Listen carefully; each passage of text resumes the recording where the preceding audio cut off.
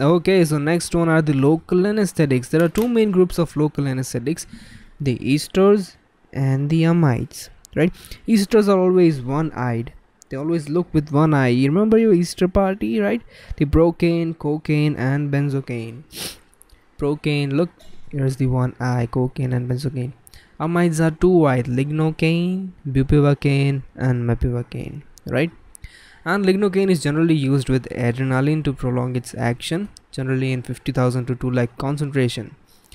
Now if that lignocaine is injected into the vessel by mistake what will be the effect? Now lignocaine per se is used as antiarrhythmic right? But this dose of lignocaine is not enough to produce bradycardia and hypertension right?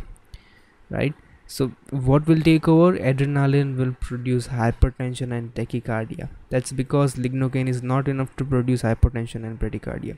So adrenaline will take over and produce hypertension and tachycardia. So beware and check that your local is not in the vessel. Now if that if the patient is suffering with circulatory collapse and you give lignocaine into his vessel there are high chances that he'll have brain and heart toxicity. That's because the blood is perfused more there. So which of the following is Easter, the one-eyed procaine.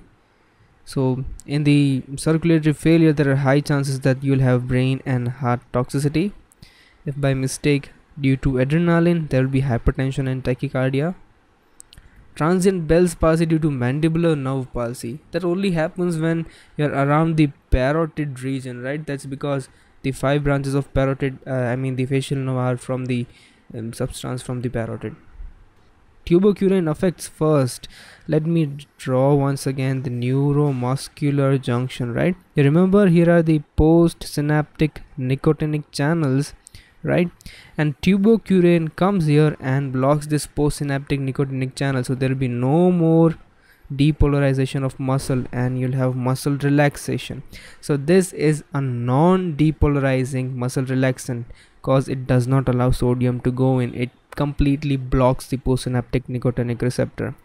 Now this tubocurarine first affects the smaller muscle. These are the extraocular muscle and the hand muscle and progressively this moves to hand and feet and your arm and then goes to neck and thor intercostal muscles and finally the um, the diaphragm if there is overdose and you'll suffer from respiratory failure.